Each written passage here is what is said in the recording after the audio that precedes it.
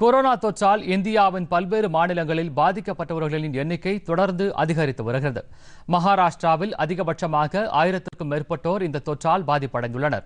நேற்று மட்டும் மும்பையில் நூற்றி பதினான்கு பேர் உட்பட நூற்றி ஐம்பது பேருக்கு கொரோனா தொற்று உறுதி செய்யப்பட்டுள்ளது. இதையடுத்து மும்பையில் இந்த தொற்றால் பாதிக்கப்பட்டோரின் எண்ணிக்கை ஐநூற்று தொன்னூறாக உயர்ந்துள்ளது. நேற்று ஐந்து பேர் உயிரிழந்ததால் மகாராஷ்டிராவில் உயிரிழப்பு நாற்பதாக உயர்ந்துள்ளது. மும்பைக்கு அடுத்தபடியாக புனேயில் பதினெட்டு பேர் உயிரிழந்துள்ளனர். இதற்கிடையே மகாராஷ்டிரா மாநில சுகாதாரத்துறை அமைச்சர் டோபே தாராவி காவல் நிலையம் மற்றும் பல்வேறு இடங்களுக்கும் சென்று நிலைமை குறித்து ஆய்வு மேற்கொண்டார்.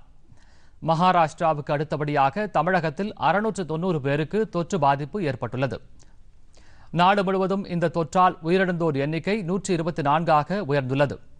முன்னூற்று ஐம்பத்தி மூன்று பேர் குணமடைந்து வீடு திரும்பியுள்ளனர்.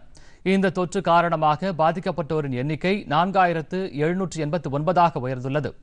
தில்லியில் ஐநூற்றி எழுபத்தி ஆறு பேரும் மத்திய பிரதேசத்தில் இருநூற்றி இருபத்தி ஒன்பது பேரும் ராஜஸ்தானில் இருநூற்றி எண்பத்தி எட்டு பேரும் பாதிப்படைந்துள்ளனர். உத்தரப்பிரதேசத்தில் முன்னூற்றி ஐந்து தெலங்கானாவில் முன்னூற்றி அறுபத்தி நான்கு பேர் பாதிக்கப்பட்டுள்ளனர்.